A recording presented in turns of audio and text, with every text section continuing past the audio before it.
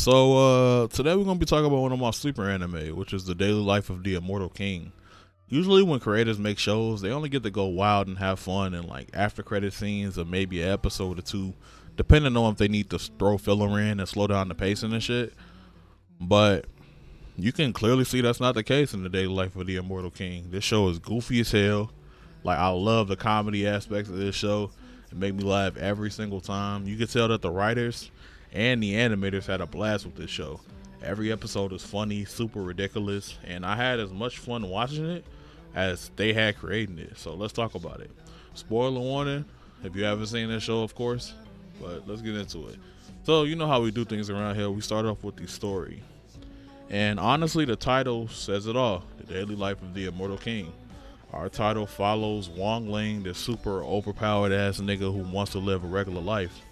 There's definitely a couple reasons why he's not no like rowdy wanna fight nigga. He could literally blow up the planet with very minimal effort, even with his power seal on that seals away a lot of his power. And two, he only really fights when the people that he loves are in danger.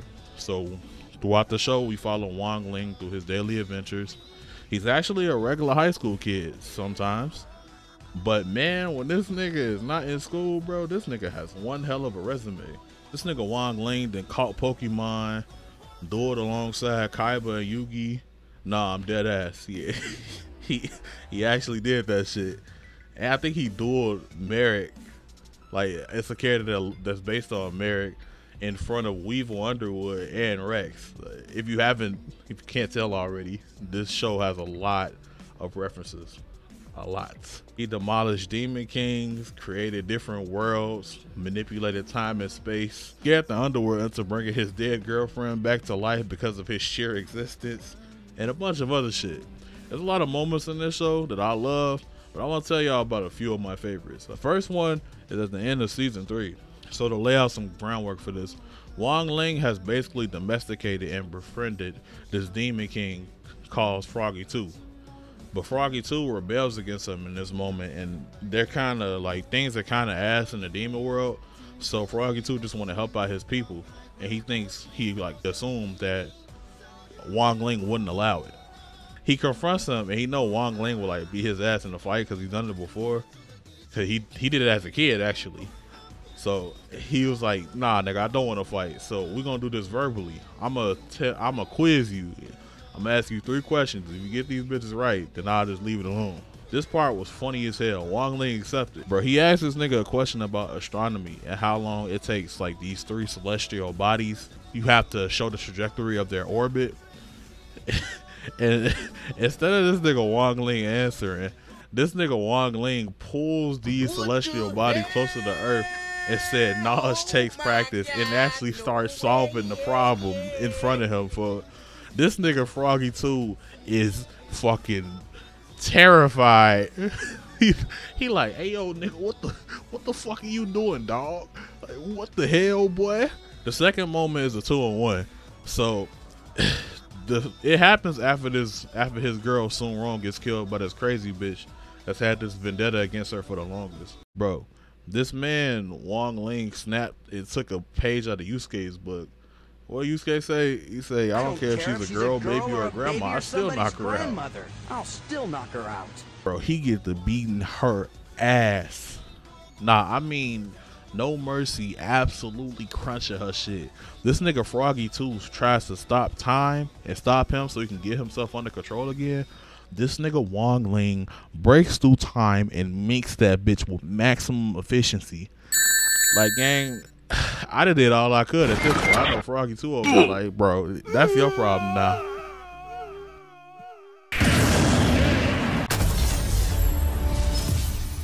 So right before he kills her, he stops himself. And then he starts brainstorming ways to get Sun Rong back. Bro, this nigga starts punching the ground and resetting the world over and over and over again just to try to get her back to life. Meanwhile, while he's doing this, Sun Rong's spirit arrives in the underworld to be judged, and the people down there ask her what her name was. She says Sun Rong. And them, and them niggas like dinner instantaneously are like, oh fuck. Huh? Bro, the entire underworld starts shaking and trembling because Wong Ling is above trying to create another world. They creating like a whole parallel world just to bring her back to life. Folks. This one nigga just say, "Yeah, bro, this is a dream. Send her ass back up immediately. He about to destroy everything in this bitch, dog. Please send her back up." But, but, but sir, that's against the, send her ass back up immediately, my nigga. You gotta be a pretty savage nigga to make fate changes, man, dog. They saw us one Wong Ling girl for, and they said, honestly, never mind, dog. Uh, they dead ass didn't fuck with that. The artists in the show had hella fun, man. You can tell by the references of how they feel, like how they feel comedy wise. And this show never takes itself too seriously. Hell, there's even an episode where they went into an actual animation studio. And that shit was pretty funny. They even got a whole episode of like them in a whole like JRPG or a dating sim game. Like I know these niggas be having a blast with this shit. Bro, niggas even made a graphics card joke that made my little computer nerd ass fucking chuckle. This show is made for my goofy ass gang. I ain't gonna lie. That's why I love this shit so much. Now let's move on to characters and character interactions. So, like I said, this nigga Wong Ling funny as hell, dog. Wong Ling be faking like he hurt. He be giving all the credit to that Grandmaster nigga just so he can keep a low profile. He be chilling, bro. I definitely fuck with him. He's a pretty chill. He's a pretty chill nigga. He only cares about three things: Sun Rong, friends and family, and them goddamn crispy noodles, boy. Emphasis on them crispy noodles, dog. That's all this nigga eats. He had some shorty cook him a five star meal in front of him, and he still chose them damn crispy noodles, folks. Also, it's a lot of times where he's unintentionally funny. Nigga got his own theme music, dog. And there's a bunch of funny ass scenes with this nigga. The same girl that cooked him the meal was like trying to take Unron's family sacred cudgel. They're trying to take the cudgel up to this like mountain to do some ritual or some shit. And he keeps on like she keeps on walking past this nigga, but this nigga keeps on appearing at the top of the staircase with his theme music playing for like when I watched this scene for this shit was not supposed to be that funny. But you can tell the artists and the animators on some goofy shit for because they do anything to make you laugh, and I think that's really cool, man. Wong Ling's character is amazing. I fuck with Wong Ling a lot. Sun Rong is really cool too. She's she's great actually. She's not so typical damsel in distress type character. She's actually pretty strong herself. She grew up a child prodigy, and she actually linked up with Wang Ling in the beginning because of his disinterest for her status, pretty much. She's a rich, popular girl, but we've actually seen that go away, and we've seen her struggle financially and suffer hardships. You usually don't see of a like a character of her archetype it's kind of cool that a comedy animator doesn't take itself serious at all is more than capable to express characters and actually take steps to develop them and show a lot of character within them and a lot of character progression. A lot of shows don't even bother to do some shit like that. Like that's some cool ass shit. Chen Chao's a meathead, hyperactive, super simp ass nigga, dog. Like, nah, nah, this nigga is insane he was on some tier three sub bathwater buying. What did you say about Pokimane ass nigga dog? He was in this girl chat tier three top sub, top donations, top bits, most merch bought. He was fiending so hard. They took his shit away. They took his phone away and his computers away. You know what this nigga did, dog? He went to the damn school computer lab, dog. Is it that deep, folk? Ain't no fucking way, boy. You tweaking. Then we got Gu Hao which is this super smart hacker nigga who's really intelligent when it comes to a lot of shit. This nigga funny as hell. This nigga literally made a damn Glock Dookie that almost killed Chen Chao. For he almost killed this nigga. Shit was wild as fuck. Niggas out here hiding the body and shit like they really killed that nigga. Gu Hao's really cool though. He's really cool character. Froggy 2 is probably one of my favorite of the secondary characters because of his origin. Before Wong Ling came around and domesticated his ass, uh, he was a whole ass demon lord, like a demon king. He's a huge part of the comedic relief in this show. He's actually pretty good friends with Wong Ling, and I like their relationship. And like Wong Ling be treating this nigga like family, for the whole demon king situation I was talking about earlier, where he was like trying to help his people because it was so bad in Demon World. Bro, this nigga Wong Ling created a whole new world where his demon friends can live, dog. Like this is I'm telling you, Wong Ling, the show is on this episode of Wong Ling doing whatever the fuck you want. Like that's how this show goes. The rest of the supporting cast is cool too. Everyone serves their purpose, plays their role well, and even if they don't have a lot of screen time. I love the writing in this show, man. I can't talk about it enough. Love the way they handle their characters. Now, let's move on to looks, presentation, and music. I'm not gonna lie, bro For a comedy show, I'm not gonna lie, these fight scenes in this show look really good.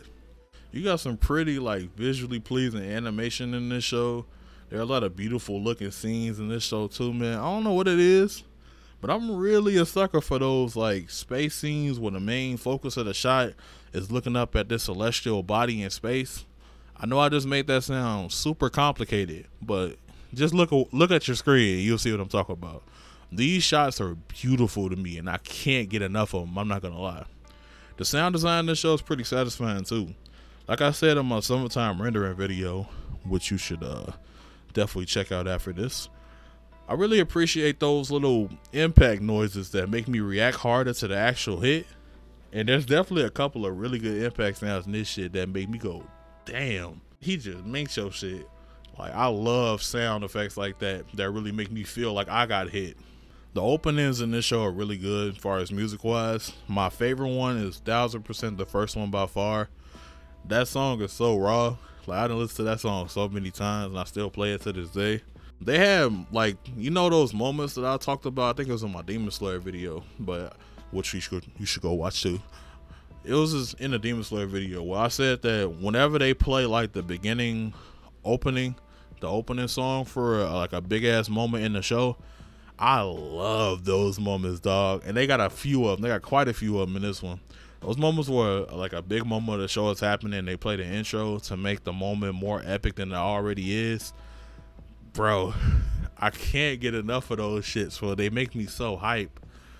That that first OP is definitely on my on my playlist, thousand percent. The music in this show is really good. All in all, I think this is a very unique show that's very funny, extremely entertaining. I'm not gonna lie. I adore what the authors did with this show, and I'm super excited to see what they got going on moving forward. If you're looking to laugh and looking to be entertained, this show is a thousand percent for you. Like a million percent for you, my nigga. I'm telling you, you will enjoy this show. I definitely recommend it. Uh, if you watch stuff like Konosuba, I would recommend it. If you watch something like uh, what's another funny one? I think Gintama has a lot of comedy in it. I think you will like this one. Uh, another show that I think is fucking hilarious. Baki's fucking hilarious. I'm sorry. If you watch Baki, I think you would appreciate some of the comedy in this. It's just some ridiculous shit in this show that some you can laugh at, and the fight scenes in the show actually look pretty good, even though it's a slice of life technically. But it doesn't feel like it because I'm always entertained by it. Like it's never a dull moment in this show really for me. As always, man, have a great day. Peace.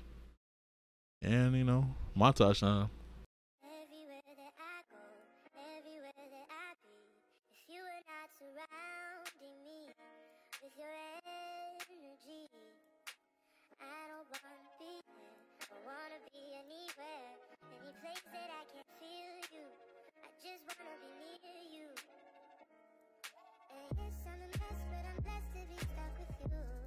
呀，不知道解除之后，大家还会不会记得我？我错了，我并不需要全世界的爱。对不起各位，我只要一个人的就足够了。我到底是什么？我我是人，